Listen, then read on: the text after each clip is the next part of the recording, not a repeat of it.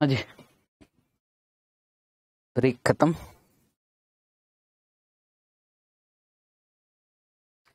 चलो, ब्रेक के पहले जो क्लास थी वो हैवी थी, मुझे ऐसा लग रहा है। हाँ sir two period binomial model वाकई हैवी था। अब जो पढ़ने जा रहे हैं, वो भी कम नहीं है, वो भी हैवी ही है। मतलब सर मतलब ये है कि मैंने पढ़ाया था आपको binomial model okay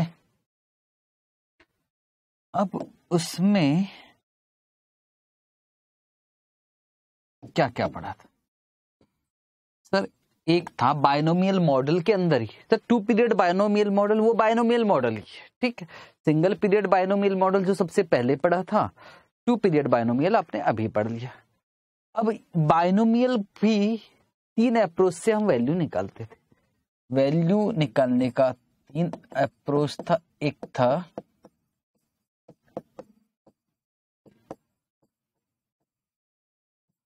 risk neutral probability ठीक है सर। दूसरा था रेप्लिकेटिंग पोर्टफोलियो रेप्लिकेटिंग पोर्टफोलियो ये भी ठीक है। और थर्ड जो था, उसका नाम था डेल्टा हेजिंग या रिस्क फ्री पोर्टफोलियो मैंने कौन सा करवाया हूँ साहब अभी? सर, आप जो करवाया है, आपने ये वाला करवाया है, ठीक? और यही इंपॉर्टेंट भी है। मतलब क्या इंपॉर्टेंट वाला एरिया हो चुका है हमारा? हाँ सर।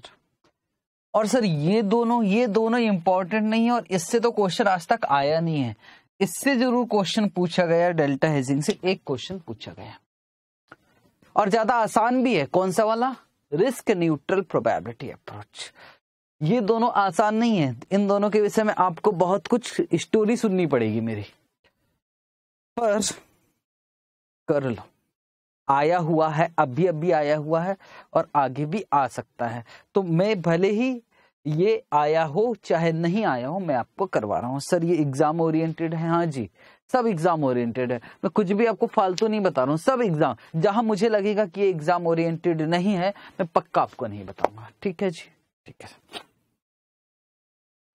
चले तो बात करें। यस बिल्कुल ध्यान से पहले ना, मुझे एक मीनिंग सर डेल्टा क्या है? एक मीनिंग समझानी पड़ेगी। अभी मैं इसको रफ कर दूँ क्या? हाँ सर सबसे इंपॉर्टेंट शब्द वो है डेल्टा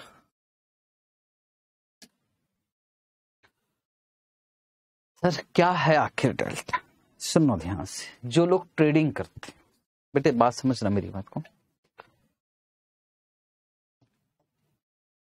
मान लो आज शेयर का प्राइस है फाइव हंड्रेड। आज शेयर का प्राइस है फाइव हंड्रेड।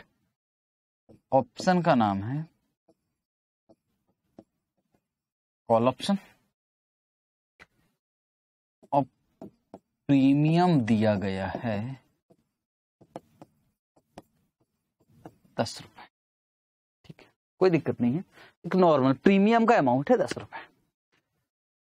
ऑप्शन कौन सा है? कॉल, और सब पीरियड कितना है? पीरियड है थ्री मंथ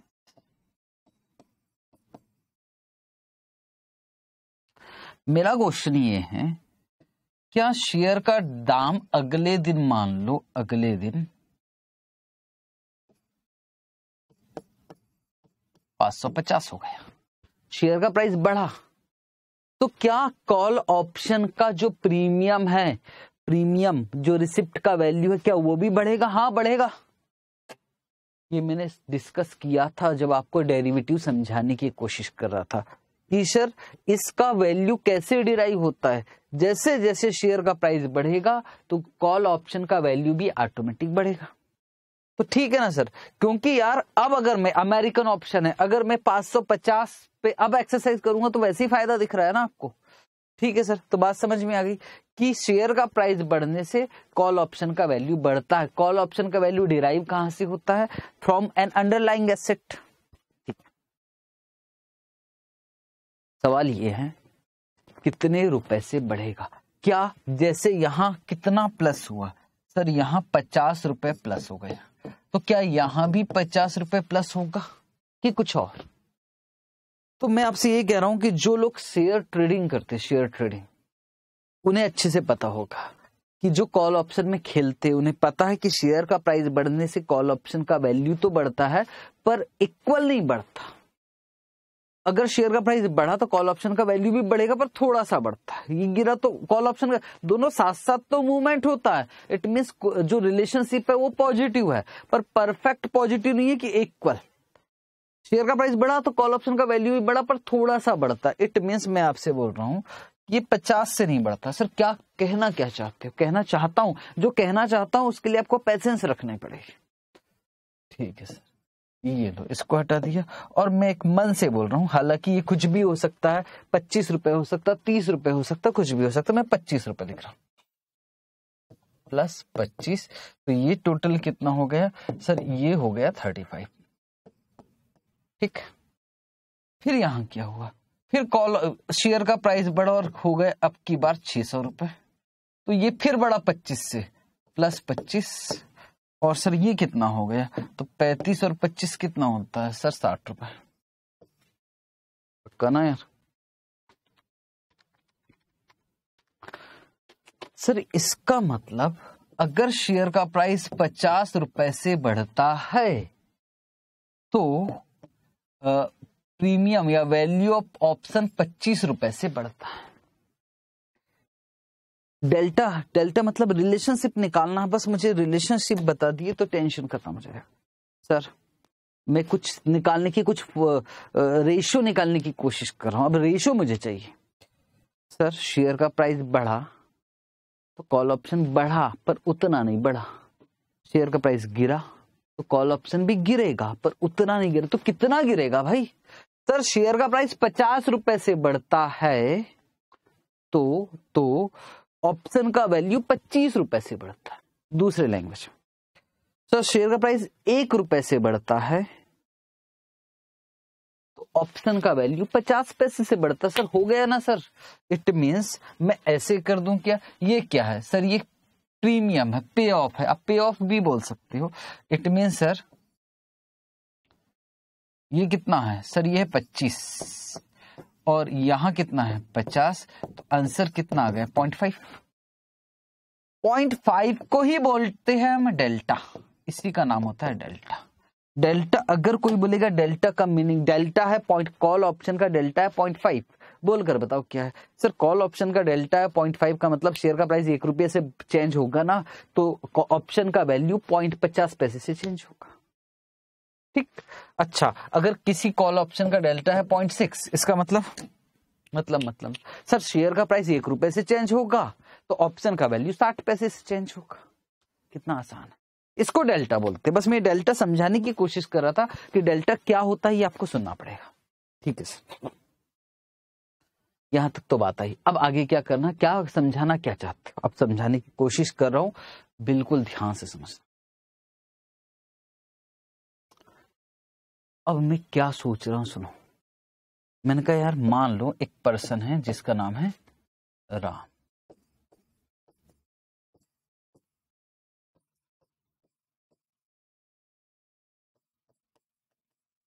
अगर वो एक कॉल ऑप्शन खरीदता है, कि एक कॉल ऑप्शन खरीद लिया। अभी प्राइस कितना है? दस। फिर प्राइस कितना हो जाएगा? थर्टी फाइव मतलब उसको कितने का फ़ायदा हो जाएगा? पच्चीस। फिर अगर वो वहाँ नहीं बेचता, फिर प्राइस कितना हो जाएगा? साठ? तो उसको कितने का फ़ायदा हो जाएगा? पच्चीस का और। बात समझ रहे हो ना? राम है, उसने कॉल ऑप्शन खरीदा। एक कॉल ऑप्शन और उसको मालूम है कि यार, यहाँ शेयर का प्राइस बढ़ेगा तो मेरा ऑप्शन का भी वैल्यू बढ़ेगा और मुझे पच्चीस का फ़ायदा हो जाएगा। अगर मैं बेच दूँ रिसिप्ट ही तो है ना भाई। मैं पे मैं एक्सरसाइज की बात ही नहीं करूँ, मैं रिसिप्ट रिसिप्ट बेच तो सकते, जो रिसिप्ट आज मैंने दस रुपए की खरीदी, वो मैं पैंतीस का बेच सकता हूँ। तो बोलो, मुझे कितने का फ़ायदा हो सकता? है पच्चीस। तो एक राम है जिसने राम ने क्या खरीदा? एक कॉल ऑप्शन ध्यान से समझना मैं क्या कहना चाहता सर, और एक कौन पर्सन है जिसका नाम है श्याम? और उसने खरीदा है पॉइंट फाइव शेयर आधा शेयर तो पहली बात, आधा शेयर कहाँ मिलेगा आपको? हमारे एसएफएम में आधा शेयर खरीदना और बेचना अलाउ है। इट मीन्स एसएफएम में फ्रैक्शन में शेयर खरीदा जा सकता है। ये मान के चलो। तो कितना शेयर खरीदा जी? आधा शेयर ठीक है सर, आधा शेयर खरीदा। क्या कहना चाहते हो? मैं ये कहना चाहता हूँ, क्या राम और श्याम को एक जैसा प्रॉफिट होगा? जिसने आधा शेयर खरीदा है, सर पैसा तो इसका ज़्यादा लगेगा ना, बेटे, पैसों की तो मैं बात ही नहीं कर रहा हूँ। कि पैसा कितना लगेगा, वो मैं बाद में डिस्कस करूँगा। मैं आपसे ये बोलूँगा कि बताओ बताओ बताओ बताओ, आप ये कह रहे हो कि एक कॉल ऑप्शन राम खरीद ले और श्याम आधा शेयर खरीद ले। क्या दोनों को प्रॉफिट पे ऑफ़ एक जैसा मिलेगा? जरा देखते हैं प्रॉफिट की बात कर चलो, इसने आधा शेयर खरीदा और शेयर का प्राइस बढ़ गया 550 हो गया। तो बता सकते हो श्याम को कितना? सर श्याम को पचास रुपए का फ़ायदा। पचास रुपए का नहीं, इसने तो आधा शेयर खरीदा है। तो बोलो कितने का फ़ायदा? पच्चीस। और शेयर का प्राइस बढ़ने से वैल्यू ऑफ़ कॉल भी बढ़ेगा। तो इसमें पच्चीस का फ़ायदा और पच्चीस रुपए किसको मिल जाएगा? राम को। और पच्चीस रुपए किसको मिल जाएगा? श्याम को। सर, कहना क्या चाहते हो? प्रॉफिट के मामलों में मैं आपसे एक बात बोलूँगा। चाहे आप एक कॉल ऑप्शन खरीद लो, चाहे आप आधा शेयर खरीद लो, बात एक ही है। ठीक है? दोनों का पे ऑफ़ एक जैसा है। पहला, डेल्टा का मीनिंग क्या होता है? डेल्टा का मीनिंग क्या हुआ? ये आपको कहीं लिख ले क्या? एग्ज़ाम्पल के साथ साथ एग्ज़ाम्पल है आपके। एग्ज़ाम्पल उठाता हूँ। अभी हल्का सा मैंने नॉलेज दिया। मैं जो एग्ज़ाम्पल है उसी एग्ज़ाम्पल में लिखवाऊँगा। चलो डेल्टा का रफली नॉलेज दिया रफली रफली ठीक है? आपने कुछ लिखा क्या नहीं? लिखने की ज़रूरत है कि नहीं? सब कुछ मैं यहाँ लिख पाऊँगा ना? क्यों टेंशन ले रहा है? ठीक है। तो मैंने एक एग्ज़ाम्पल लिया। इस एग्ज़ाम्पल क्यों लिया? क्योंकि क्वेश्चन है ही नहीं। है इट मीन्स डेल्टा हेजिंग का तो क्वेश्चन है रेप्लीकेटिंग पोर्टफोलियो का क्वेश्चन नहीं। तो क्वेश्चन एग्जांपल ये है आपके सामने। बिल्कुल ध्यान से कर लोगे और क्लास खत्म। क्लास भी ओवर और बायनोमियल भी ओवर बायनोमियल भी खत्म हो जाएगा। बिल्कुल क्वेश्चन तो है नहीं। एक क्वेश्चन है तो वो मैं करवा दूँगा। पर बिल्कुल ध्यान से अब मेरी बात समझना पड़ेगा। मैं ज़्यादा टाइम नहीं लूँगा। धीरे धीरे सारी बातें हो कि डेल्टा क्या होता है, ये सब कुछ यही समझाऊँगा। पहले सुने। करंट मार्केट प्राइस दिया 450 एक्सरसाइज प्राइस दिया, पीरियड दिया है, रिस्क फ्री रेट दिया maximum price, minimum price, value of call option, निकालना value of call option. Delta hedging से रिस्क न्यूट्रल प्रोबेबिलिटी अप्रोच से रेप्लीकेटिंग पोर्टफोलियो। हमने इसमें से कौन सा पढ़ रखा है? सर, हमने पढ़ रखा है रिस्क न्यूट्रल प्रोबेबिलिटी। खास बात है, क्या तीनों से एक जैसा ही आंसर आएगा? जी। तो एक काम करते चेक का चेक भी हो जाएगा और काम सबसे पहले ना हम रिस्क न्यूट्रल प्रोबेबिलिटी से काम करते कुछ मज़ा आएगा ना यार, ठीक है? पहला काम करें रिस्क न्यूट्रल आप इसको वन टू थ्री कर लीजिए, मैं लिख रहा हूँ फ़र्स्ट रिस्क न्यूट्रल प्रोबेबिलिटी हालाँकि आप आपको गए सर, यहाँ तो सेकंड नंबर पे लिखा मेरा ही तो एग्जांपल है तो जो चाहे वो कर लो आप। पहला risk neutral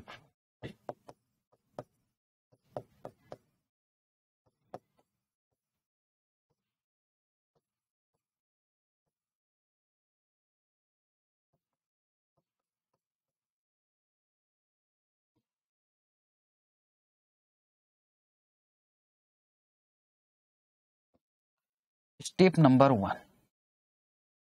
क्या लिखते थे स्टेप नंबर गिवन। याद है कि नहीं?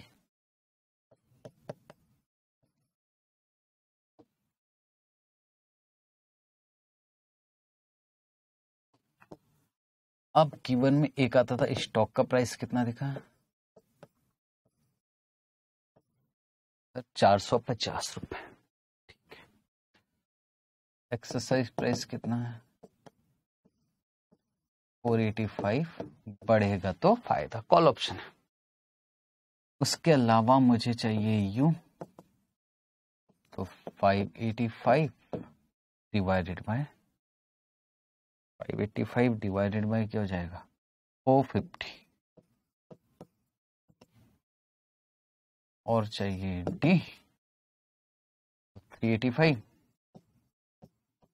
डिवाइडेड बाय और फाइव ज़ीरो और चाहिए आर दस परसेंट एक साल का है तो इसको तो सीधे ही लिख सकते हैं वन पॉइंट वन ज़ीरो ठीक है?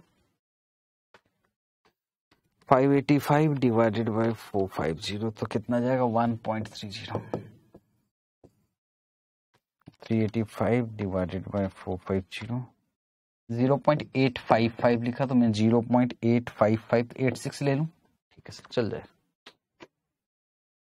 ये तो आता है आपको तो इसमें तो आप आप मुझसे आगे चलिए। आप मुझसे आगे चलिए, चल जाए। स्टेप नंबर वन हो गया है क्या? यस स्टेप नंबर टू क्या करेंगे? बायनोमियल ट्री नहीं risk neutral probability step number two risk neutral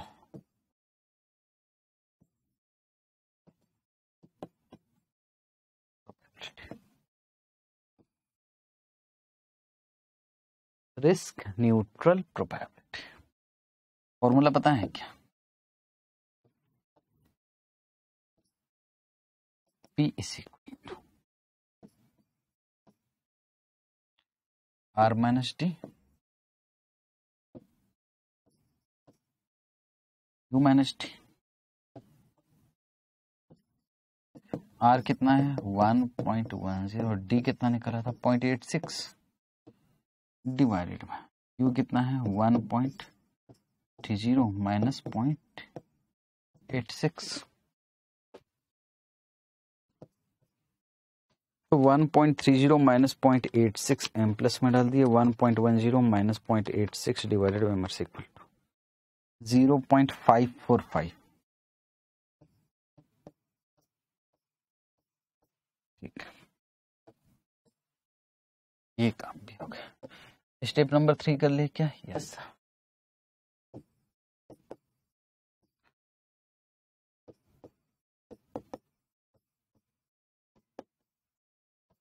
binomial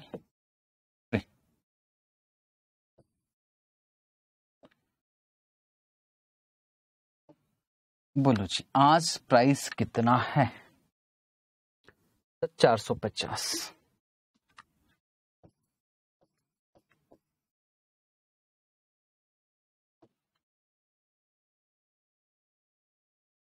या तो प्राइस हो सकता है 585 या तो हो सकता है 385 वन पीरियड सिंगल पीरियड है ना? ये है पॉइंट फाइव फोर फाइव ये कितना कितना जाएगा? One minus point five four five तो इस आ sir point four five five और यहाँ क्या लिखा जाता है? सी यू और सी डी यहाँ एक्सरसाइज नहीं होगा, यहाँ एक्सरसाइज हंड्रेड रुपीज़ होगा। याद रखना कंपैरिजन किससे करना है? Sir exercise price exercise price कितना? फोर एटी फाइव तो स्टेप नंबर टू हो गया सर स्टेप नंबर थ्री भी यही कर लीजिए ना टेंशन खत्म हो जाएगा।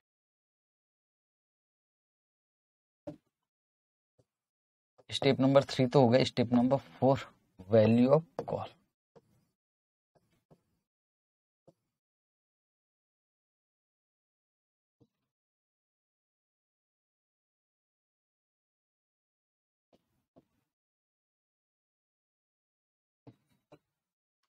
formula है C zero is equal to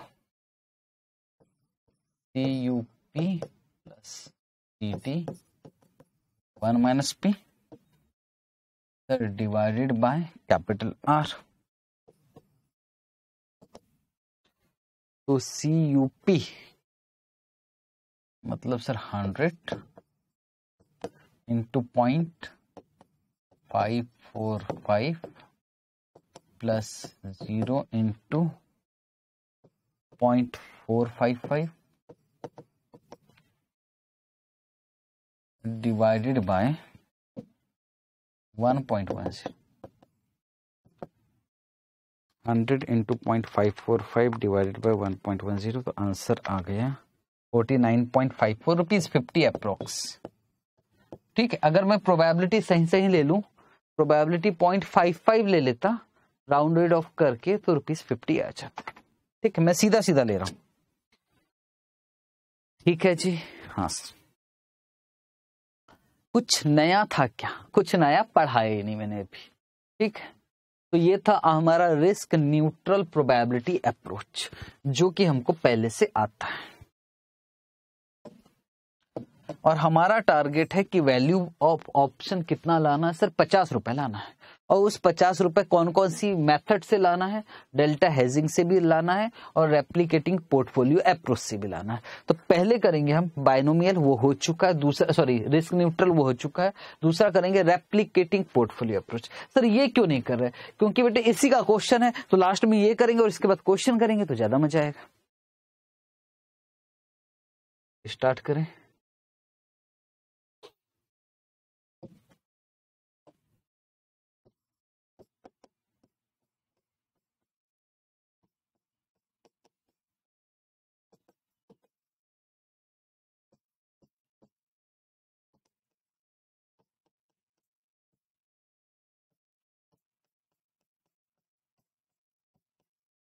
Replicating portfolio approach.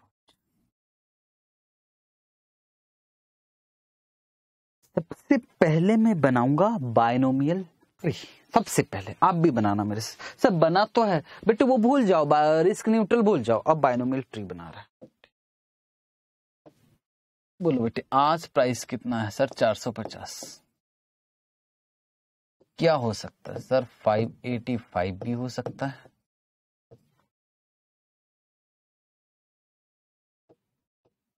अच्छे से ही कर लेता ना यार, डिज़ाइन विजाइन बना के।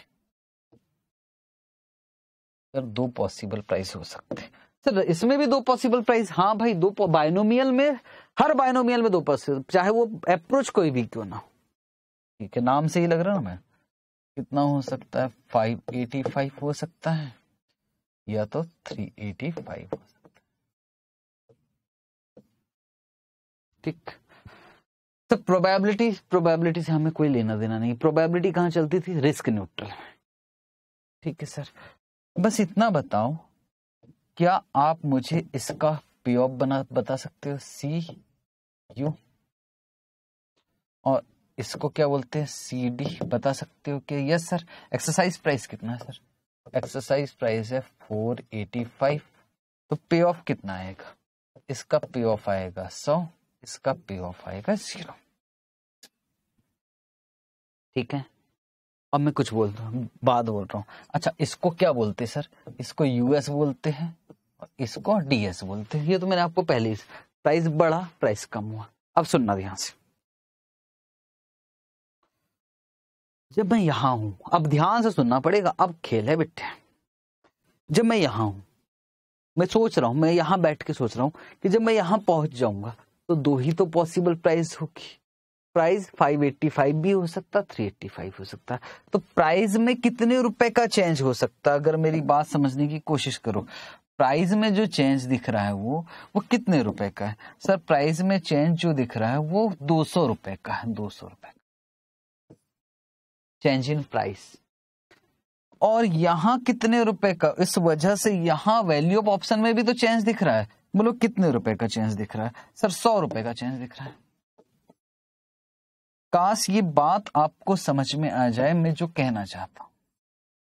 प्राइस ये लिखना नहीं है तो मैं आपको समझा रहा हूँ। प्राइस में दो सौ रुपए का चेंज हुआ तो ऑप्शन में सौ रुपए का चेंज हुआ। क्या डेल्टा निकाला जा सकता है? यस। मैं वही चीज़ आपको बोल रहा हूँ। Change in value divided by change in price. Delta दिख रहा है। सर, इसको अच्छे से थोड़ा सा हाथवत हाथ सर। प्राइस दो सौ रुपए से बढ़ा। तो ऑप्शन 200 से नहीं वैल्यू वैल्यू कॉल ऑप्शन का वैल्यू सौ रुपए से बढ़ा।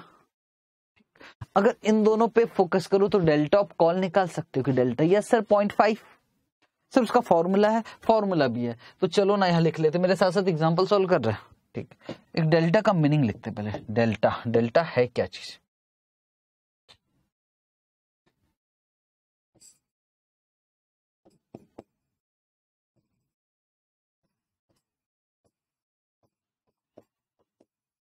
delta of option means?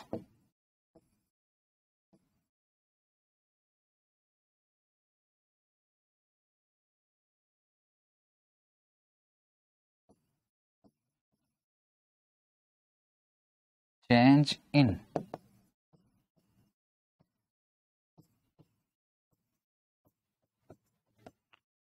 Value of option.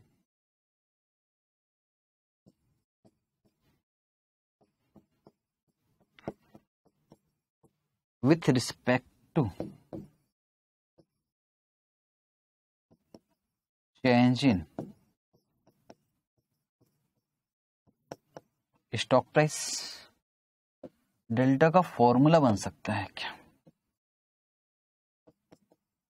Delta is equal to sir सौ बाई दो सौ? बिल्कुल लिख सकते हो, पर सौ बाई दो सौ नहीं लिखा। उन्होंने फॉर्मूला दिया C U minus C D divided by US minus DS ये फॉर्मूला आईसीएआई का है। हालाँकि उन्होंने सी वन सी टू लिखा है। ये वाला फॉर्मूला दिया आईसी सर सीधा सीधा लिख सकते हैं कि लिख सकते हैं सीधा सीधा भी? इसको मैं यहाँ लिख के बता दूँ। सर, सौ minus zero divided five eighty five minus three eighty five point five इसका मतलब यह है कि रेप्लीकेटिंग पोर्टफोलियो अप्रोच अगर आता है रेप्लीकेटिंग पोर्टफोलियो अप्रोच आपको किसी भी हालत में डेल्टा निकालना पड़ेगा। और डेल्टा कितना निकल गया? पॉइंट फाइव अब सुनो, अब क्या है? हम एक पोर्टफोलियो बनाएँगे। यहाँ से मैं इसको रफ कर दूँ क्या?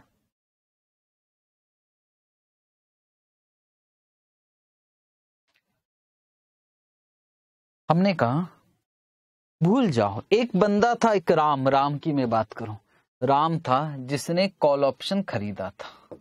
कॉल ऑप्शन बाय किया था।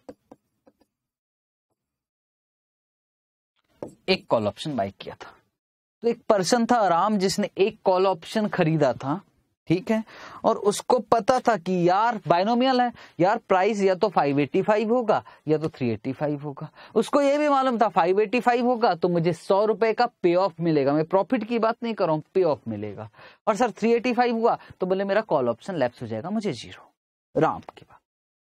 मैं कहता हूँ, क्यों ना एक पोर्टफोलियो बनाए, जैसा राम का पोर्टफोलियो है, वैसे ही हम श्याम का भी पोर्टफोलियो बनाए। रेप्लीकेट एक जैसा पोर्टफोलियो इट मीन्स श्याम को भी वैसे ही हो जैसे राम को हो रहा था। मतलब सर मतलब सर, श्याम को भी अगर शेयर का प्राइस 585 हो तो श्याम को भी सौ रुपए का प्रॉफिट हो। अगर शेयर का प्राइस 385 हो तो श्याम को भी ज़ीरो मिले। ऐसा कुछ बनाने का सोच रहे सर, क्या करेगा श्याम? ये किसकी बात थी? राम की।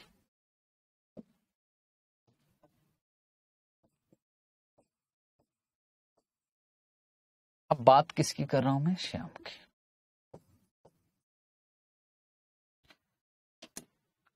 अब श्याम देखो क्या दिमाग चला था राम ने क्या सोचा था? राम ने सोचा था कि शेयर का प्राइस बढ़ेगा। तो चलो, मैं भी सोचता हूँ शेयर का प्राइस बढ़ेगा। तभी तो मज़ा जो राम सोच रहा वो मैं सोचू। राम ने क्या किया? बोले, उसने कॉल ऑप्शन खरीदा। मैं क्या करूँ? मैं बोले, मैं कॉल ऑप्शन नहीं खरीदता। मैं शेयर ही खरीद लेता हूँ। ये लो ना। अगर प्राइस बढ़ेगा तो नो डाउट कि कॉल ऑप्शन राम को फ़ायदा होगा, राम को फ़ायदा होगा, पर मुझे भी तो फ़ायदा होगा। और रेट गिरा सर गिरा तो तीन सौ पचासी से नीचे थोड़ी नहीं जाएगा। सर शेयर का प्राइस तो कुछ भी हो सकता, कुछ भी नहीं हो सकता। कसम खा लो शेयर का प्राइस कुछ भी नहीं हो सकता। या तो ये होगा, या तो ये होगा। तो बोले, अगर शेयर का प्राइस 385 हुआ तो तो बोले, राम को ज़ीरो तो मेरा भी ज़ीरो आएगा। चलो, मैं भी एक काम करता हूँ, मैं भी शेयर खरीद लेता हूँ। चलो। राम के कंपैरिजन में बात हो रही है साहब। बस यही सोचना है। जो राम ने किया, वो श्याम करने वाला बस, उसने कॉल ऑप्शन खरीदा और भाई साहब शेयर खरीदा। लेकिन, क्योंकि डेल्टा कितना है? पॉइंट फाइव तो श्याम को एक बात मालूम है। एक कॉल ऑप्शन के बराबर एक शेयर नहीं है। आधा शेयर आधा। मैं आपको समझा चुका हूँ। अच्छा मतलब जितना प्रॉफिट कॉल ऑप्शन एक कॉल ऑप्शन में होगा, उतना ही प्रॉफिट पॉइंट फाइव शेयर में होगा। एक बार करके देख लेते क्या करे। तो इसने क्या खरीद पॉइंट फाइव शेयर खरीद लिया। ठीक है ठीक है सर। पर एक समस्या थी। राम बहुत खुश। क्यों खुश पता है? राम बोलता भाई कॉल ऑप्शन के लिए मालूम मुझको क्या देना पड़ा? सिर्फ़ प्रीमियम और श्याम आपने क्या किया? बोले मैंने तो आधा शेयर खरीदा। पैसा तो बहुत सारा गया ना। आप बहुत बोल रहे हो, श्याम, बड़ी बड़ी सारी बातें कर रहा है कि देखो, आपका जितना, आपको सौ रुपए का फ़ायदा तो मेरा भी सौ रुपए का पे ऑफ़ आपका ज़ीरो का तो मेरा भी ज़ीरो का। आपने कॉल ऑप्शन खरीदा तो मैंने शेयर खरीदा। तो राम बोलता है, सुनो सुनो श्याम, सुनो, आपकी सारी बातें सही। मैं मान गया कि चलो ऐसा हो जाएगा। लेकिन मैंने तो कॉल ऑप्शन खरीदा, मुझे तो छोटा सा थोड़ा सा पैसा देना पड़ता प्रीमियम का। और आपने तो आधा शेयर खरीदा ना। खरीदा ना आधा शेयर आपको तो बहुत सारा पैसा देना पड़ेगा। आपकी जेब से तो बहुत सारा पैसा जाएगा। तो श्याम बोलता है सुनो सुनो सुनो सुनो, राम, चिंता मत करो। मैं पैसा बोरो कर लूँगा। ये लो, मुझे जितना लगेगा, मैं पैसा बोरो कर लूँगा। ये एक चीज़ और पिक्चर में आई। और क्यों आई मालूम है? ज़ीरो पीरियड में जो पैसा जाने वाला है, उसको भी हम चाहते हैं कि यार ज़्यादा, इसका भी ज़्यादा पैसा ना जाए। मेंटेन करना चाहते हैं। अगर मैं बोरो नहीं करता हूँ ये बोरो क्यों कर रहा हूँ? ये बाद में। अगर मैं बोरो नहीं करता हूँ तो इन दोनों का कंपैरिजन करना थोड़ा सा मुश्किल हो जाएगा, क्योंकि इसका छोटा सा पैसा जा रहा है और इसका बड़ा सारा पैसा जाएगा आदर्श मैंने पहले भी बताया शेयर खरीदने में ज़्यादा पैसा जाता है। इसलिए बोरो पिक्चर में आया। तो अब अब आपका आपका इसके साथ की ज़रूरत है। ये सब मैं लिखवाओगे कि सर, ये सारी चीज़ें लिखवाऊँगा, आप चिंता मत करो। पर अब आपके साथ की ज़रूरत है। ठीक है सर, बोलो सर। मुझे बस इतना बताओ, अब श्याम सोच रहा कितना पैसा बोरो करना है। तो अब पहले पहले पहले। श्याम ये सोच रहा है कि मान लो जब शेयर का प्राइस हो जाएगा फाइव एटी फाइव ध्यान से सुनना, यहाँ मुझे आपकी, मुझे हिम्मत चाहिए आपकी, बस। शेयर का प्राइस हो जाएगा फाइव एटी फाइव तो श्याम इसको तो भाई राम को तो सौ रुपए का पे ऑफ़ दिख रहा है। पर श्याम ये सोच रहा है कि जब शेयर का प्राइस हो जाएगा फाइव एटी फाइव तो मेरे पास जो आधा शेयर है, मैं उसको बेच दूँगा। बोले, ठीक है। बेचने पे कितना आएगा? तो फाइव एटी फाइव का आधा फाइव एटी फाइव का आधा। तो five eighty five into point five तो आएगा two ninety two point five zero ठीक है? और बोले, जो मैं पैसा उधार लूँगा। अब सुनो, उसको चुकाना भी तो पड़ेगा विथ इंटरेस्ट तो बोले, जो बोरो था, उसको मैं चुकाना तो पड़ेगा। बोले, मैं रिपे कर दूँगा।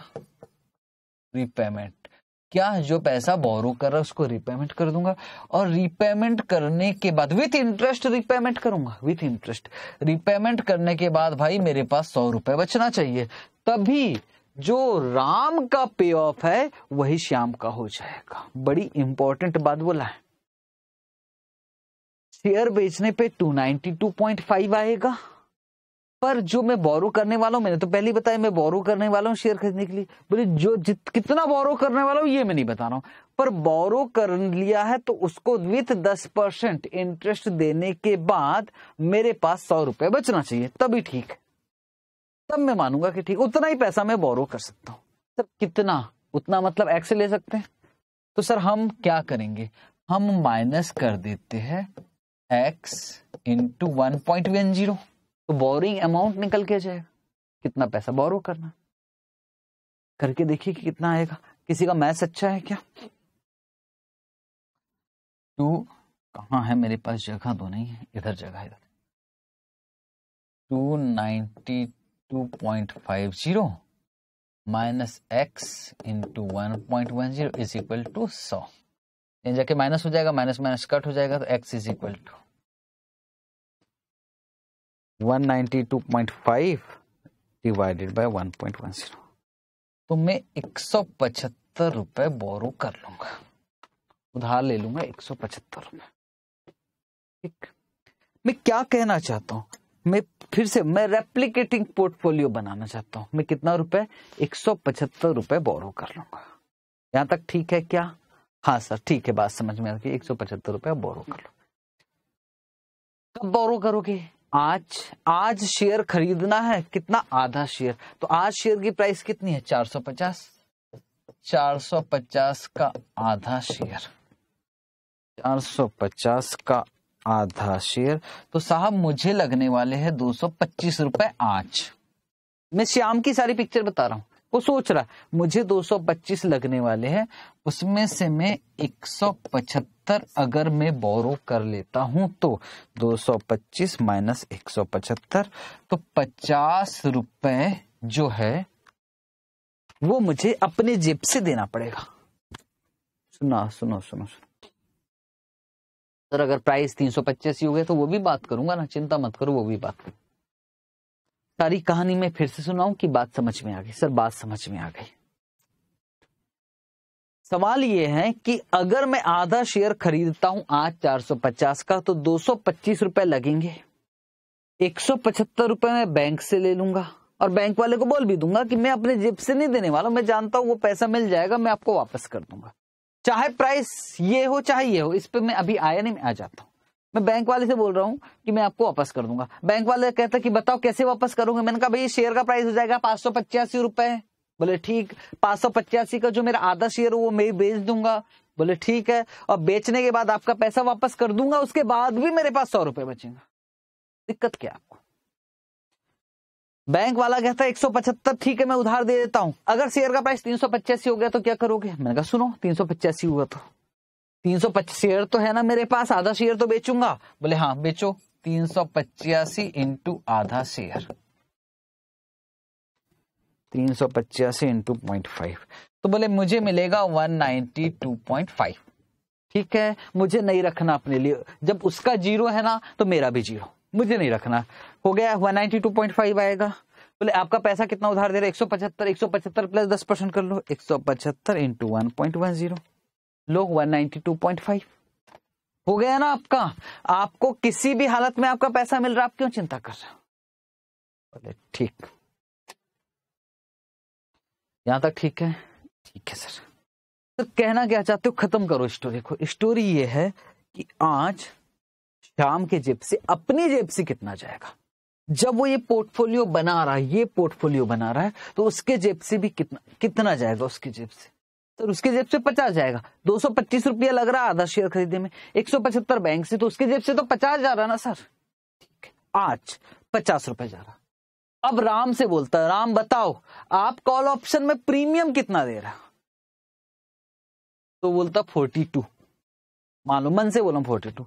तो श्याम कह रहे छोड़ो भैया शेयर भैया, मैं भी तो कॉल ऑप्शन ही खरीदूँगा। मेरी बात समझने की कोशिश कॉल ऑप्शन राम नहीं खरीदेगा, राम तो खरीद रहा। श्याम भी कॉल ऑप्शन ही खरीदेगा। कोई ये वाला काम नहीं करेगा, क्योंकि ये सस्ते में काम हो रहा। फोर्टी टू रुपए लगाओ। यहाँ तो पचास रुपए जा रहा ना जेब से। यहाँ तो फोर्टी टू जा रहा है। तो मैं भी ये काम करूँगा, राम भी ये काम करेगा, मोहन भी ये काम करेगा, हर कोई ये काम करेगा। उससे मालूम है, दिक्कत क्या है? डिमांड बढ़ जाएगा। किसका? कॉल ऑप्शन का। और कॉल ऑप्शन का डिमांड बढ़ के, यहाँ फोर्टी टू ना होके प्राइस बढ़ जाएगा फिफ्टी हो जाएगा। ठीक है? सर अगर प्रीमियम साठ रुपए है तो होता तो एक्चुअल में तो फिर कोई ये काम नहीं करता। सब यही काम करते। तो धीरे धीरे क्या होता? इसका प्राइस कम हो जाता और इसका प्राइस मालूम है कितना हो जाता? पचास रुपए हो जाता। दिस इज़ आर्बिट्रेस अच्छा सर ये बात है। हाँ जी, ये बात है। इसका मतलब कॉल ऑप्शन का वैल्यू कितना रहेगा?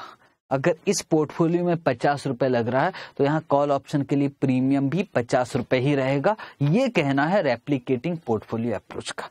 रेप्लीकेटिंग पोर्टफोलियो अप्रोच यही कहना चाहता है, अगर हम ऐसा ही पोर्टफोलियो बनाए साहब तो उसमें जितना पैसा लग रहा है, हमारे कॉल ऑप्शन का भी वैल्यू उतना ही होगा। ठीक है? सर, एग्ज़ाम में आता है कि नहीं आता? पर आ भी सकता है। तो सर, लिखे कैसे? हमको तो कुछ समझ में, लिखे कैसे? कहानी सुन लिया, सब लिखवाना ज़िम्मेदारी मेरी है जी। ठीक है सर। अब जो डिस्कशन किया है, एक बार हम बोलते हुए लिखेंगे तो मज़ा आएगा। ठीक है, ठीक। वापस वही सारी चीज़ें मैं करवाने वाला हूँ। चिंता करने की आपको बात ही नहीं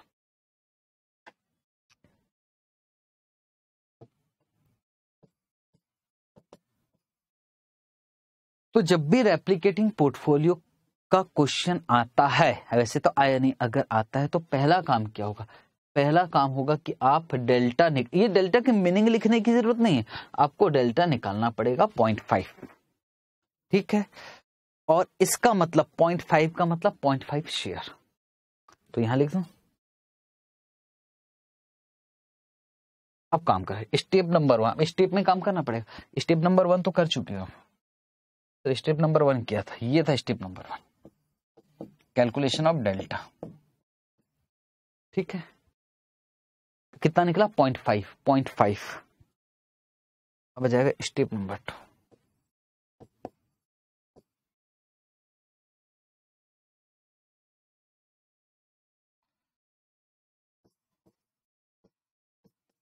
Create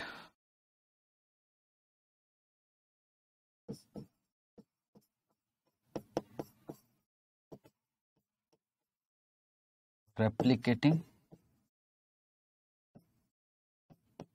portfolio.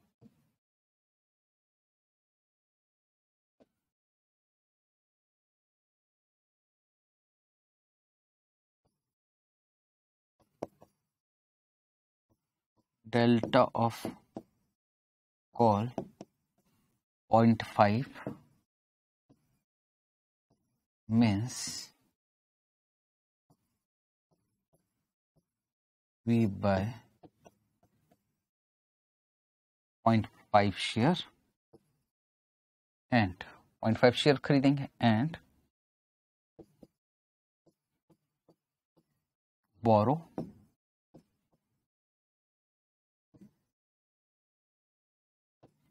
सम अमाउंट और कुछ अमाउंट बोरो करेंगे, कितना अमाउंट बोरो करेंगे, ये स्टेप नंबर थ्री में निकलेगा।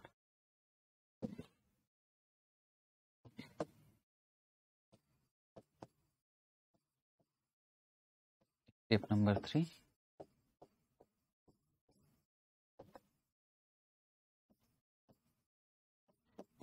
Borrowing amount किसी भी तरीके से निकाल सकते या तो पाँच सौ पचासी से निकाल सकते तीन सौ पचासी से किसी से भी निकाल सकते सर, अगर प्राइस पाँच सौ पचासी हो जाता है तो।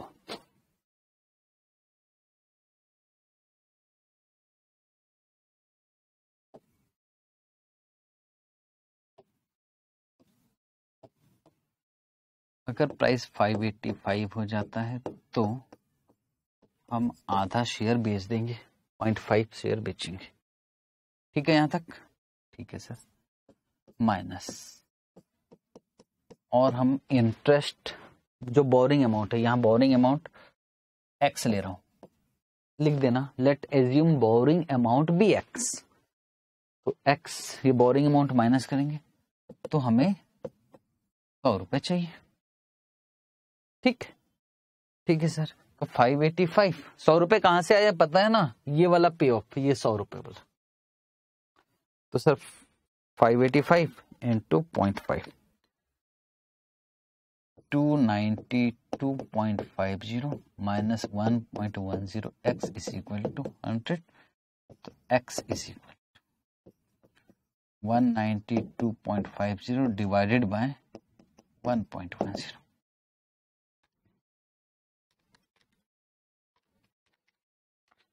तो sir rupees one seventy five borrowing amount alternative भी है बोरिंग अमाउंट निकालने का अल्टरनेटिव भी है। आप ऐसे भी कर सकते थे। सुनो कैसे? अगर शेयर का प्राइस कितना हो जाता? थ्री एटी फाइव तो three eighty five into point five minus X into one point one zero is equal to zero तो 385 eighty five into point five तो सर ये जाता one ninety two point five zero minus X into one point one zero is equal to zero तो उधर हो जाता तो x का वैल्यू कितना आता? उतना ही आता। वन सेवेंटी फाइव तो वन सेवेंटी फाइव हम क्या करेंगे? बोरो कब करेंगे? आज। ठीक। अब last step number four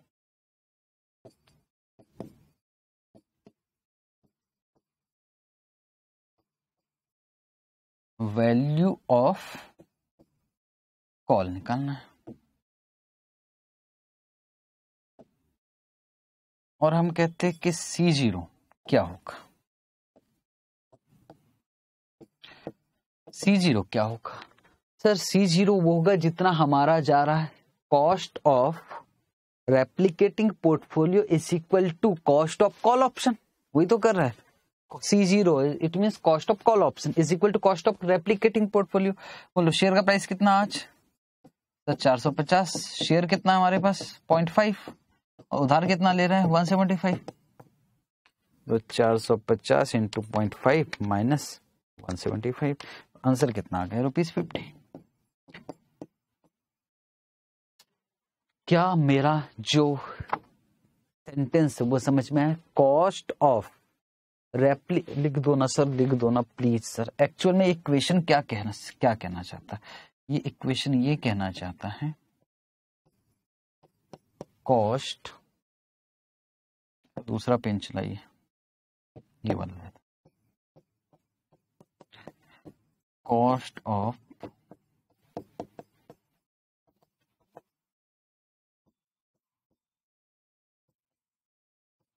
replicating portfolio is equal to cost of option.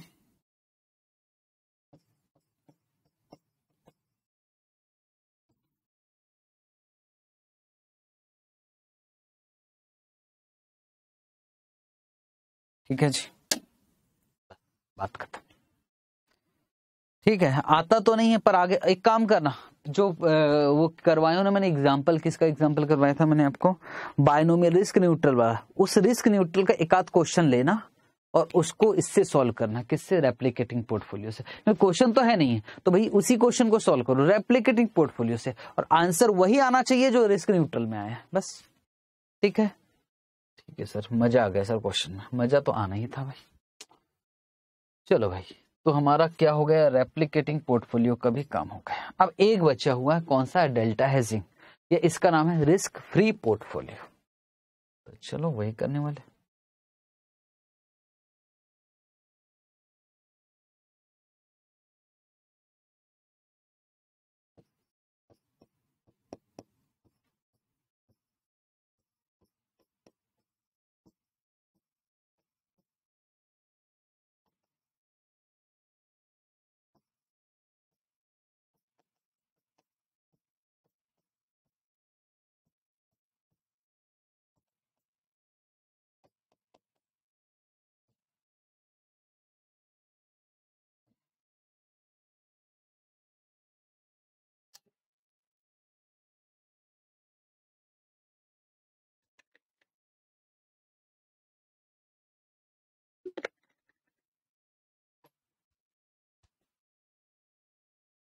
पानी पी लूँ?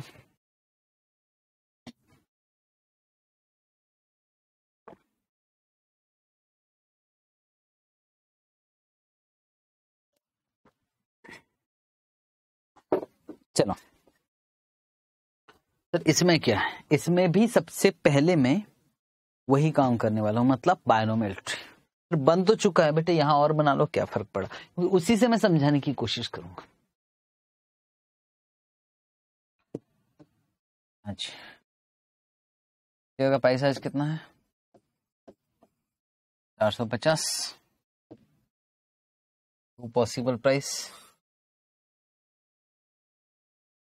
क्या क्या हो सकता है? सर फाइव एटी फाइव और कितना? एटी फाइव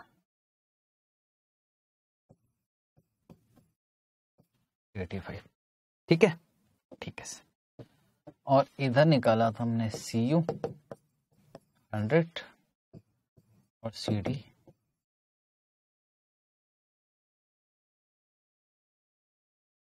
ठीक है। यहाँ तक ठीक। है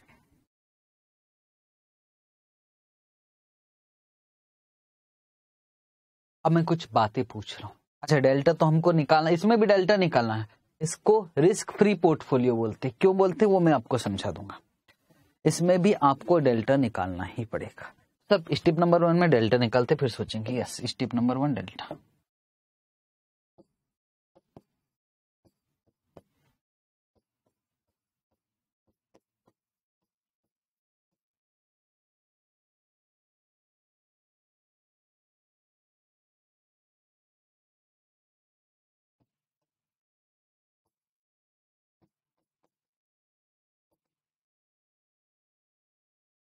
formula लिख लूँ क्या? C U minus C T U S minus S मतलब sir hundred minus zero five eighty five minus three eighty five is equal to point five अब मैं कुछ आपसे पूछने जा रहा हूँ हैज़ का मतलब क्या होता है? सर हैज़ का मतलब होता है रिस्क से बचने के लिए काम करना। अब एक क्वेश्चन है मेरे पास और सब जवाब आपको देना पड़ेगा। मैंने एक कॉल ऑप्शन राइट किया है। सर, ये कहाँ से आ गया? राइट किया है। बेटे, मैं ऐसे ही बोल रहा हूँ, मैंने कॉल ऑप्शन राइट किया है। राइट किया है, मैं ऑप्शन राइटर हूँ इस बार। सर ऑप्शन राइटर है कॉल ऑप्शन अच्छा जो कॉल ऑप्शन होल्डर क्या है, वो प्राइस बढ़ता तो एक्सरसाइज करता। तो सर, इस बार आप कॉल ऑप्शन होल्डर है। हाँ नहीं कॉल ऑप्शन राइटर है। मतलब सर, सामने वाला एक्सरसाइज करेगा तो आपको देना पड़ेगा? हाँ देना पड़ेगा। सामने वाला कॉल ऑप्शन एक्सरसाइज करेगा तो आपको देना पड़ेगा। यस तो आपको टेंशन किस बात की बेटे? अगर प्राइस कम होता तो कोई दिक्कत की बात नहीं। सामने वाला लैप्स कर देगा। मेरे जेब से कुछ नहीं जाएगा। लेकिन अगर प्राइस बढ़ा तो मुझे देना पड़ेगा। तो मुझे डर है भाई।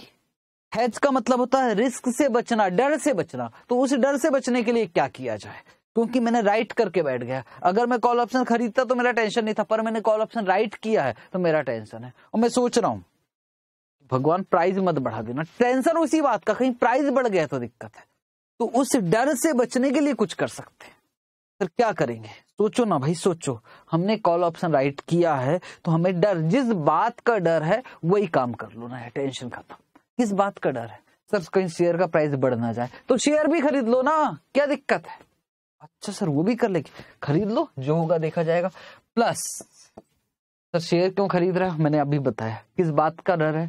सर शेयर का प्राइस कहीं बढ़ ना जाए।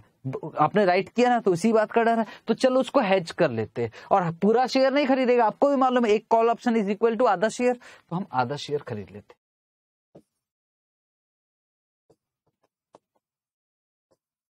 ये लो। हमारा टेंशन ही खत्म। कॉल ऑप्शन बढ़ेगा। हमने हैच कर लिया hedge call option call option सुनना। कॉल ऑप्शन अगर अगर प्राइस बढ़ता प्राइस बढ़ता है तो हम मुझको देना पड़ेगा। दुख दुख अगर सोचते सर अगर प्राइस बढ़ा तो, तो मैं भयानक दुखी। क्यों? मुझे कॉल ऑप्शन में देना पड़ेगा। फिर खुश भी तो हो जाऊँगा। शेयर बढ़ा तो मेरे पास तो शेयर भी लगा है ना। यार वो शेयर का प्राइस भी बढ़ जाएगा। इट मीन्स हैज़ कर रहा हूँ मैं। ठीक है, सर। सर, अगर अगर अगर अगर प्राइस गिरा तो? गिरा तो क्या होगा? तो ऑप्शन तो लैप्स हो जाएगा, मैं खुश, लेकिन थोड़ा दुखी भी होना पड़ेगा। मैंने जो शेयर खरीदा ना, उसको मुझे कम दामों में बेचना पड़ेगा। ठीक है, सर, बात समझ में आती। एक बार फिर से कोशिश करेंगे, फिर से बताना हमको, मैं फिर से बताऊँगा। भाई साहब, मैंने क्या किया मैंने कॉल ऑप्शन राइट किया है और आधा शेयर खरीदा है। अब देखते क्या होगा। मैंने एक पोर्टफोलियो बनाया और उस पोर्टफोलियो को मैं रिस्क फ्री पोर्टफोलियो बोल रहा हूँ। ऐसा क्यों बोल रहा हूँ? Risk free, delta hedging. Delta hedging का मतलब ये डेल्टा निकाल के मैंने हेज कर लिया। Delta hedging? Risk free portfolio क्यों बोल रहा हूँ, वो मैं समझाने की कोशिश कर रहा हूँ। तो ये बनाया मैंने पोर्टफोलियो। ठीक है सर, यहाँ तक ठीक। अब सोचते हैं कि अगर शेयर का प्राइस 585 होता है तो क्या होगा? ये जो पोर्टफोलियो है, उसका, उससे क्या होने वाला? अगर शेयर का प्राइस 585 होता है तो। जो आधा शेयर खरीदा है सर, वो आप बेचोगे तो पैसा आएगा। सर 585 का आप बेच दोगे, आधा शेयर तो पैसा आएगा। ठीक है। सर, ये आएगा 292.50 पर सर, आपने कॉल ऑप्शन राइट किया है। हाँ तो सामने वाला एक्सरसाइज कर देगा। तो आपको सौ रुपए देना पड़ेगा कॉल ऑप्शन में यस तो सर, आपका आएगा 192.50 आपके पास पैसा बचेगा। कितना बचेगा? 192.5 कब बचेगा ये? एक साल बाद। ठीक है? ठीक। सर, अगर शेयर का प्राइस 385 हो गया तो? तो वो आधा शेयर मुझे बेचना पड़ेगा। 385 फाइव इंटू आधा शेयर।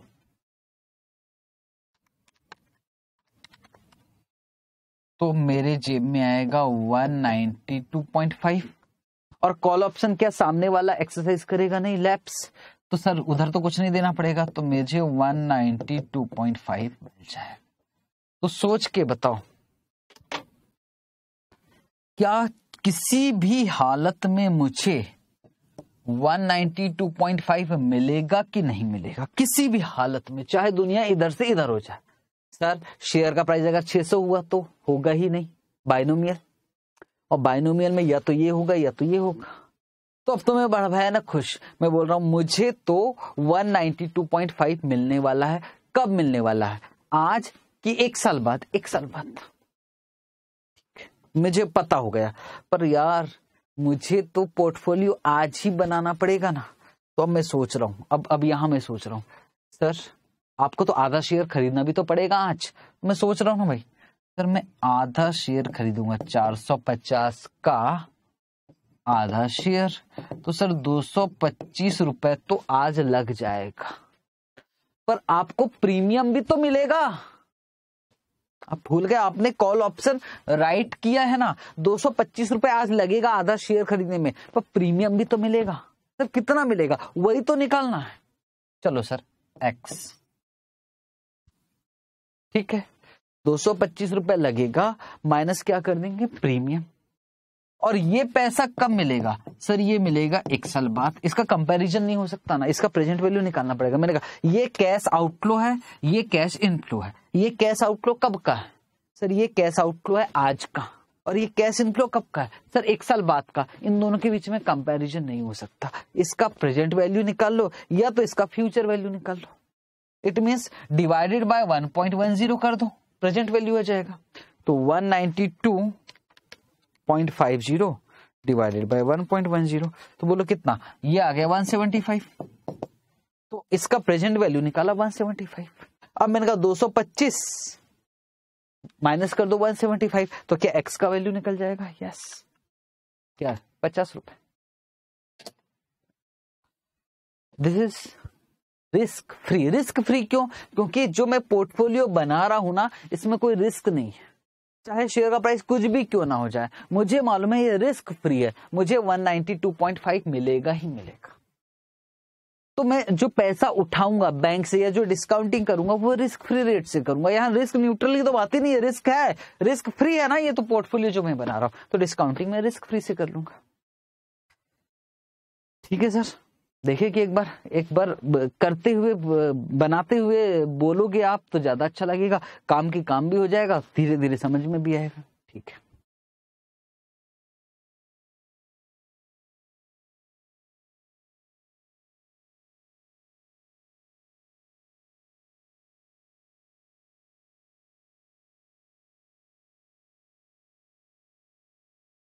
ठीक है। ठीक है। तो इसमें भी डेल्टा हेजिंग में भी सबसे पहले आपको या रिस्क फ्री पोर्टफोलियो में सबसे पहले डेल्टा निकालना पड़ेगा। कितना निकालना? Point five. अब हमें एक पोर्टफोलियो बनाना पड़ेगा। सर, कॉल राइट ही क्यों किया? आपने कॉल बाई क्यों नहीं की? कॉल बाई भी कर लेता, पर उसके लिए फिर मैं शेयर बाई नहीं करता, मैं शॉर्ट सेल करता। देखो भाई, एग्ज़ाम ओरिएंटेड है, एग्ज़ाम ओरिएंटेड ही रहने तो मैं बहुत कुछ करवा सकता हूँ। मैं ढाई सौ, तीन सौ घंटे एसएफएम पढ़ा सकता हूँ, मैं नहीं पढ़ाना चाहता। क्वेश्चन आएगा, आपको अगर इसका डेल्टा हेजिंग का तो आपको सबसे पहले कॉल कॉल ऑप्शन का वैल्यू बोलेगा, कॉल राइट करना है और कॉल राइट का अपोजिट क्या होगा, शेयर बाय करना दैट्स इट ऐसे ही करना है। सर, रटवा रहे हो, काश मैं आपको बहुत कुछ बता दूँ, पर बहुत कुछ बताने का टाइम नहीं। ठीक है? बाकी यूट्यूब में है ही मेरा, डला हुआ है, दोनों चारों मैथ है, उससे कर लो, पर इतना टाइम नहीं है, क्यों टाइम बर्बाद कर रहे हो यार अपना? ऐसे ही करना है। इंस्टेंट एक ही क्वेश्चन है एक क्वेश्चन प्रैक्टिस में है, और एक क्वेश्चन एग्ज़ाम में आया और दोनों में कॉल ऑप्शन राइट है, और शेयर बाय है।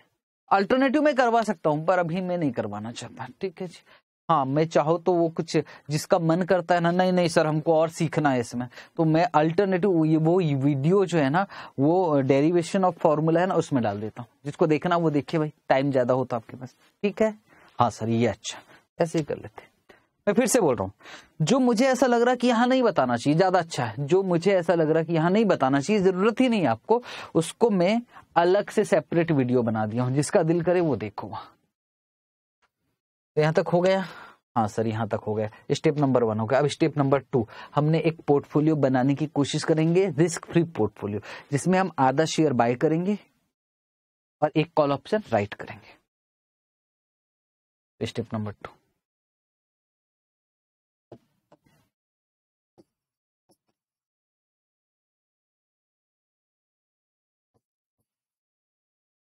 create.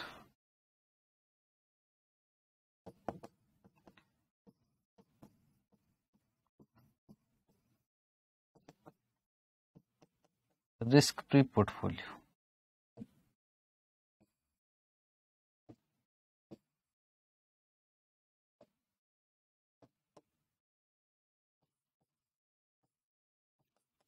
right.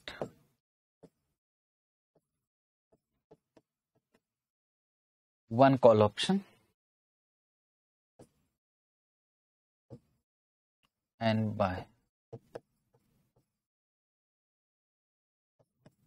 point five share कभी कभी ना, जो क्वेश्चन आता है ना, उसमें बोलता है कि आप कॉम्बिनेशन बताइए, किस किस के बीच में शेयर और ऑप्शन के बीच में कॉम्बिनेशन यही है कॉम्बिनेशन ठीक?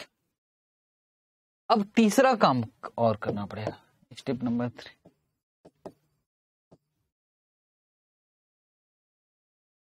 पे ऑफ़ बताना पड़ेगा। माँगता है। क्वेश्चन में लिखा रहता है इसलिए। Pay off on maturity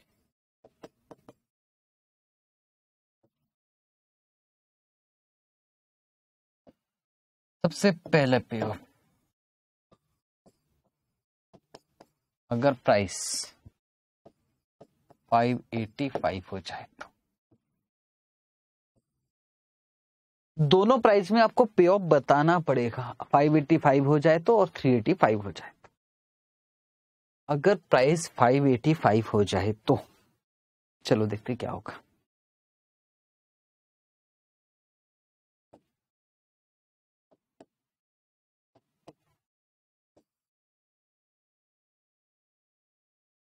sell कर देंगे शेयर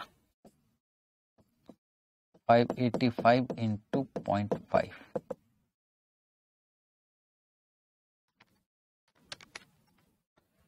तो सर ये आ गया two ninety two point five ये पैसा आएगा और कॉल ऑप्शन में जाएगा पैसा। Cash outflow on call option call option exercise हो जाएगा ना? तो सर यहाँ जाएगा मेरा सौ रुपए। तो बोलो भाई कितना बचेगा? Sir rupees one ninety two point five zero ये क्या आ गया? ये सर पे ऑफ़ आ गया। ये इसको वो क्या बोल सकते हो? Cash inflows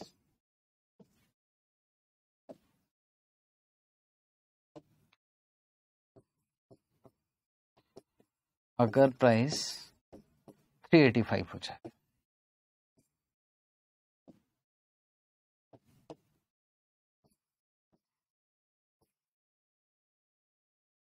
सेल्सिया 385 into point five यह आ जाएगा 192.5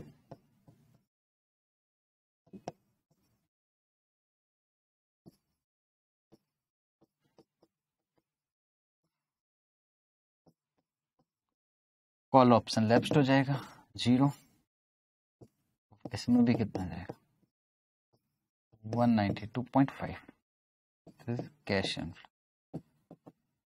क्या किसी भी हालत में हमें one ninety two point five मिलेगा? Yes sir step number four क्या step number four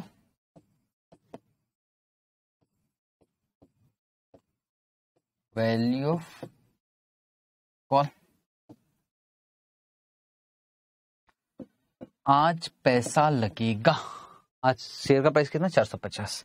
आधा शेयर चार सौ पचास इंटू पॉइंट फाइव। ठीक है? और हमें प्रीमियम मिलेगा कॉल ऑप्शन का सी ज़ीरो। इतना पैसा लगेगा आज। और इसका क्या कर देते? फ्यूचर वैल्यू निकाल लेते हैं, वो भी चलेगा। 1.10 इज़ इक्वल टू होना चाहिए 192.50 फ्यूचर इसका मैं फ्यूचर वैल्यू निकाला चाहो तो आपका प्रेजेंट वैल्यू। मैं फिर से इतना पैसा लगेगा मुझे। Cash outflow is equal to cash inflow कर रहा हूँ मैं और कुछ नहीं कर रहा हूँ। कैश आउटफ्लो पैसा आज जाएगा कैश इनफ्लो पैसा फ्यूचर में आएगा। तो मैं कहता हूँ, इतना पैसा आज मुझे लगेगा, उसमें से कुछ तो मिल जाएगा ना कॉल ऑप्शन का प्रीमियम मिलेगा, मैंने ऑप्शन राइट किया है, और उसका मैं फ्यूचर वैल्यू निकाल रहा हूँ। ठीक है? इट मीन सर आप कर क्या रहे हो? एक्चुअल में मैं कर रहा हूँ this is cash outflow is equal to cash inflow equate कर रहा हूँ।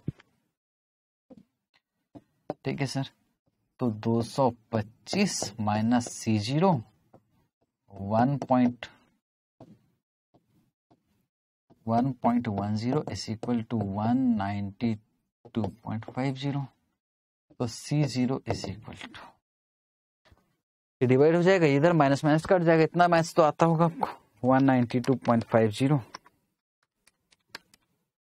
divided by one point one zero minus two two five answer कितना जाएगा? फिफ्टी माइनस माइनस कट जाएगा भाई, है ना? ठीक है खत्म। बाप रे बाप, सर, ये तो बहुत ज़्यादा मुश्किल है। इसलिए तो बोल रहा हूँ रिस्क न्यूट्रल अगर क्वेश्चन में कुछ नहीं लिखा है कि कौन सी मेथड से करना है तो रिस्क न्यूट्रल से करना, और आप नहीं करोगे, सारी दुनिया करती। आप आईसीएआई खुद करता है तो फिर तो हमको करना। पर क्वेश्चन में लिखा रहेगा कि डेल्टा हेजिंग से करना तो कुछ कर ही नहीं सकते। क्वेश्चन में लिखा रहेगा रेप्लीकेटिंग पोर्टफोलियो से करना है, कुछ नहीं कर सकते, उससे ही करना पड़ेगा। और अगर क्वेश्चन में कुछ ऐसा हिंट मिल जाए कि यार हमें डेल्टा हेजिंग ही करना है तो फिर तो कुछ कर ही नहीं सकते ना। हिंट देखना पड़ेगा, ठीक है?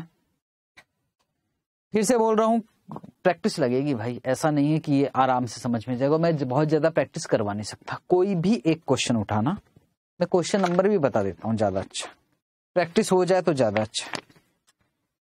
क्वेश्चन नंबर टेन है क्या? हाँ। क्वेश्चन नंबर टेन ऑलरेडी मैंने होमवर्क दिया है आपको। तो साहब भाई साहब ऐसा करो सर जी इसको तीनों से कर लो। बायनोमियल से भी कर लो। बायनोमियल में रिस्क न्यूट्रल से भी कर लीजिए। इसके अलावा डेल्टा हेजिंग से भी कर, लीजिए और रिस्क रेप्लीकेटिंग पोर्टफोलियो से भी कर लीजिए। प्रैक्टिस भी हो जाएगी। ओके चले आगे। क्वेश्चन बनाने हैं हम लोगों को। तो थक गए नहीं भाई नहीं चलेगा। थकना वकना नहीं चलेगा। एक क्वेश्चन है क्वेश्चन नंबर फोर्टीन और फोर्टीन हम बनाने जा रहे हैं। आप खुद सोच के बताना कौन सा है। पानी पी लू जब तक आप पढ़ो question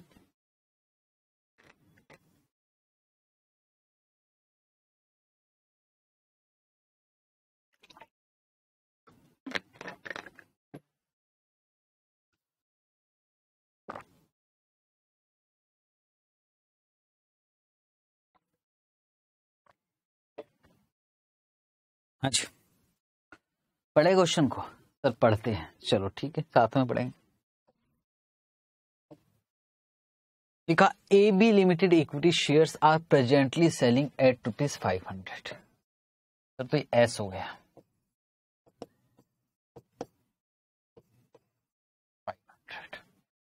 An investor is interested in purchasing AB limited share the investor expect that price is 70% chance that the price will go up to 650 sorry 650 क्या है यूएस 650 प्राइस हो सकता है। और प्रोबेबिलिटी कौन सा कितना दिया? 70 परसेंट कुछ बच्चे इसको रिस्क न्यूट्रल प्रोबेबिलिटी सोच लेते सवाल ही पैदा नहीं होता। कभी भी रिस्क न्यूट्रल प्रोबेबिलिटी आपको निकालना पड़ेगा, सर। ये वाली प्रोबेबिलिटी रिस्क न्यूट्रल नहीं है। ये तो वो है जो हम सोच रहे हैं कि यार ये हो सकता है करके। इन्वेस्टर जो है इन्वेस्टर जो पैसा लगा रहा है, ठीक है? इन्वेस्टर उसको ऐसा लगता है कि सत्तर परसेंट चांस है कि शेयर का प्राइस 650 हो सकता है और उसे ये भी लग रहा है कि शेयर का प्राइस 450 भी हो सकता है। मतलब डीएस दी है 450 ठीक है? Three month from now period कितना है? Three month there is a call option on the share of firm और ऑप्शन कौन सा? है call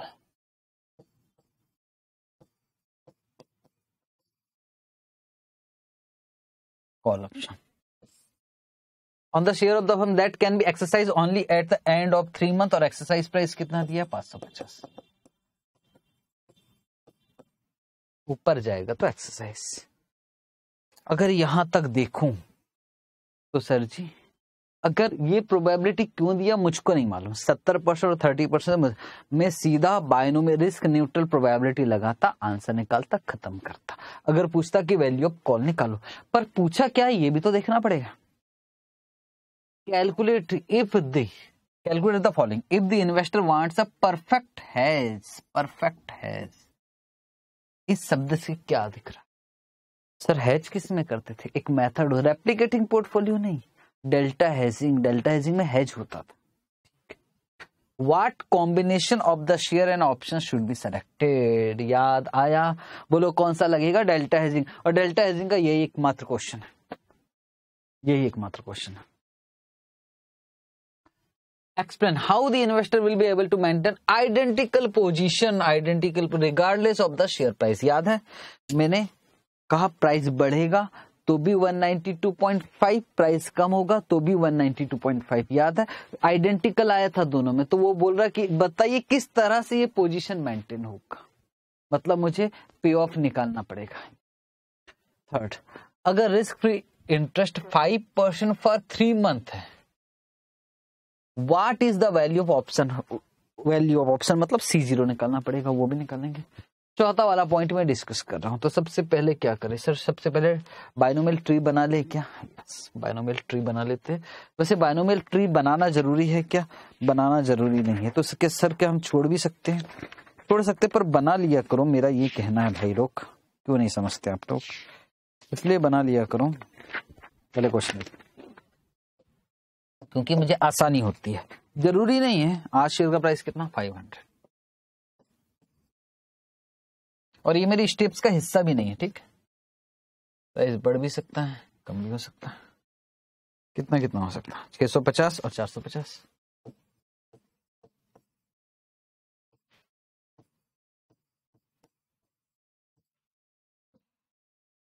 इसका नाम क्या है? सर यूएस इसका नाम क्या है? ठीक है। यहाँ क्या लिख ले? सी यू और यहाँ C D C U exercise price कितना चेक करो?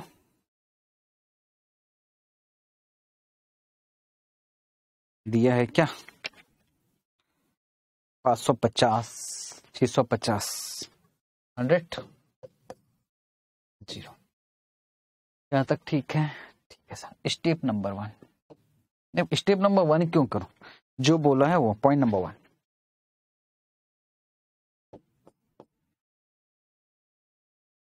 सबसे पहले डेल्टा निकलना पड़ेगा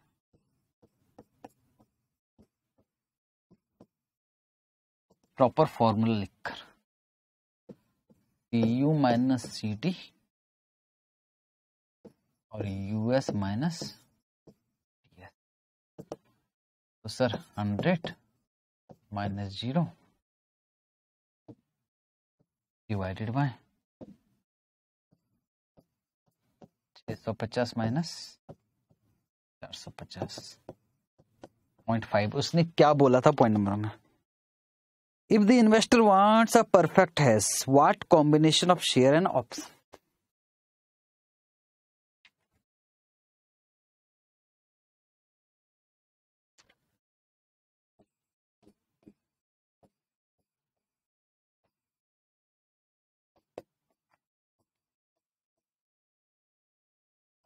of perfect hedge.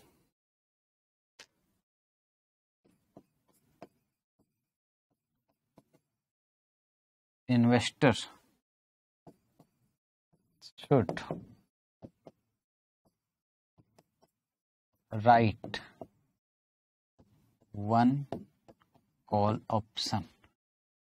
Doubt आएँगे। राइट ही क्यों? बाई क्यों नहीं? तो आप चाहो तो मैंने कहा ना, एडिशनल वीडियो डालूँगा। One call option and buy point five share today पहला काम हो गया। ठीक है सर पॉइंट नंबर टू क्या बोल आइडेंटिकल पोजीशन मतलब पे ऑफ़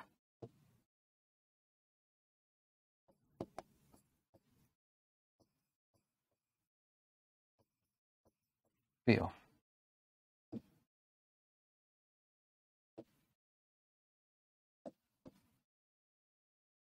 सबसे पहला,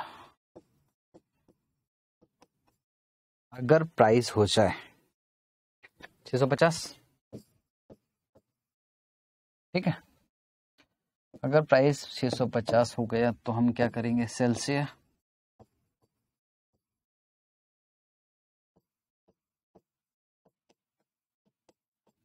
छह सौ पचास इंटू पॉइंट फाइव तीन सौ पच्चीस रुपए। और कॉल क्या हो जाएगा? एक्सरसाइज और कॉल एक्सरसाइज होगा तो हमें देना पड़ेगा। कितना? सौ। जाएगा। तो दो सौ पच्चीस। ये क्या आ गया? कैश इनफ्लो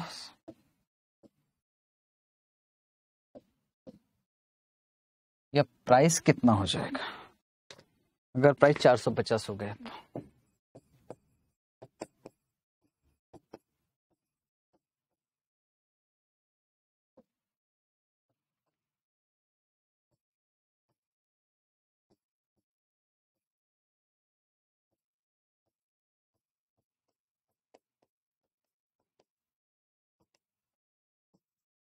दो सौ पच्चीस और कॉल क्या हो जाएगा। लेफ़्ट ज़ीरो तो यहाँ भी कितना जाएगा? दो सौ पच्चीस। Cash inflows point number three if the risk free rate of return is five percent for the three month period यही तो दिक्कत है मुझे। तो दिक्कत क्या है? वैल्यू ऑफ़ कॉल पूछ रहा है ना? दिक्कत ये पाँच परसेंट जो है, ये पर एनम है कि तीन महीने का? सर लिखा तो है तीन महीने का। नहीं भाई, ऐसा लिखा होने से कुछ नहीं होता।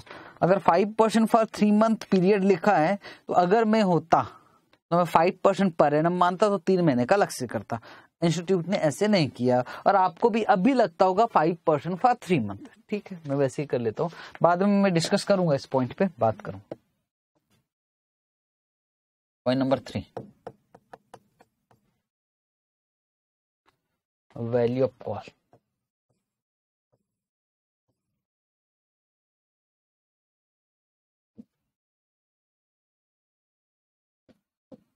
और वो कैसे निकालते हैं हम, सर? ये लिखना नहीं है, पर मैं लिख देता हूँ। Cash outflow is equal to cash inflows cash outflow आज कितना जाएगा? आज शेयर खरीदेंगे तो आज कितना जाएगा? आज शेयर कितने का सर आज शेयर है पाँच सौ रुपए का। इंटू आधा शेयर माइनस कुछ प्रीमियम का मिलेगा। और 1.05 मेरा दिल नहीं बोलता 1.05 का, पर मैं मजबूर हूँ। Is equal to is equal to कितना? कैश इनफ्लो कितना? 225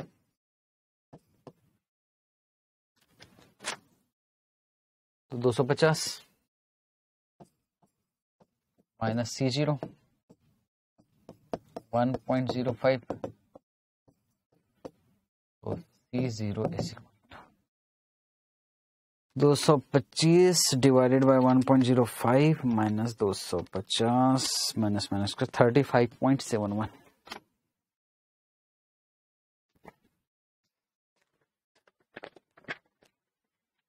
आज की क्लास यार थोड़ी ज़्यादा चली गई है ना। उम्मीद नहीं था कितनी जाएगी, पर क्या कर सकते thirty five point seven one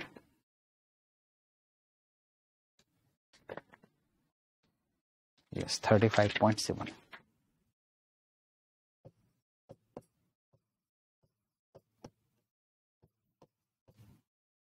ठीक है? ठीक है सर। बात समझ में आ गई है।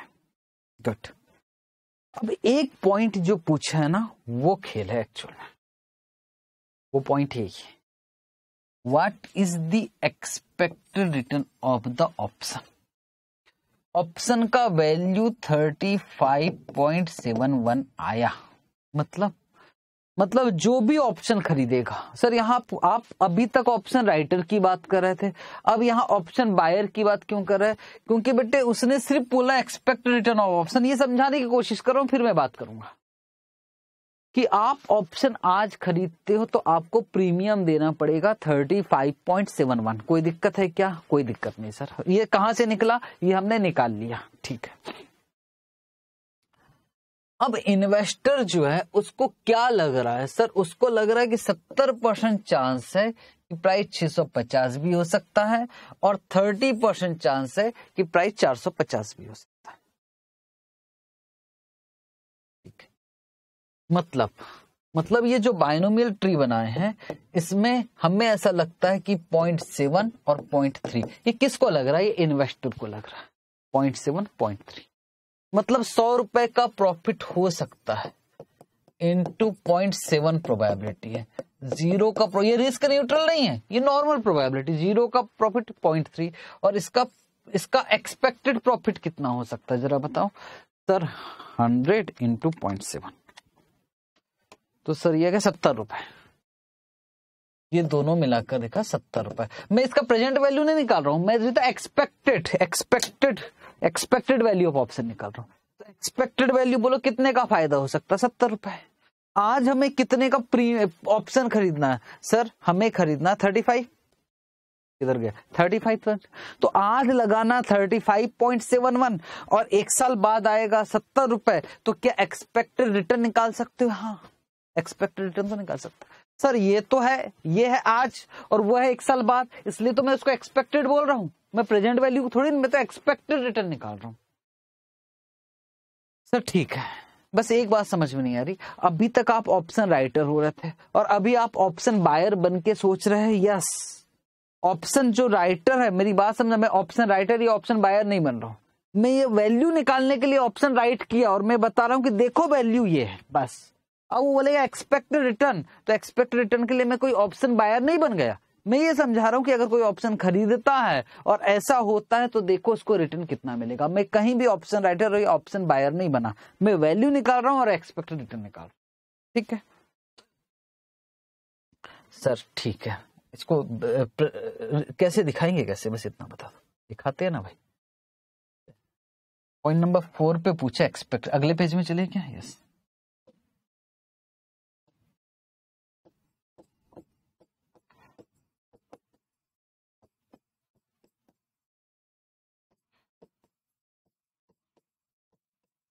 expected return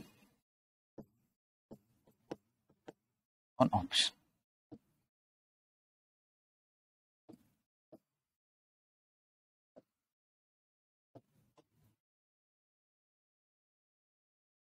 पहले एक्सपेक्टेड वैल्यू ऑफ़ ऑप्शन निकालते फिर बायनोमियल ट्री बनाएँगे, नहीं बनाएँगे भाई? आपको तो समझाने के लिए था। एक्सपेक्टेड वैल्यू ऑप्शन सौ का पे ऑफ़ हो सकता है इसकी प्रोबेबिलिटी है पॉइंट से plus zero into point three is equal to rupees seventy expected value होगी और वैल्यू ऑफ़ ऑप्शन मतलब आज की value thirty five point seven one expected return.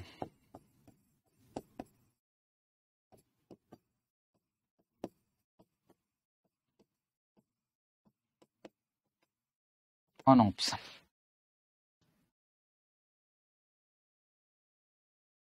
seventy आया, आज गया thirty five point seven one divided by हो जाएगा thirty five point seven one into hundred percentage seventy minus thirty five point seven one divided by thirty five point seven one into hundred तो ninety six point zero two percent भाई।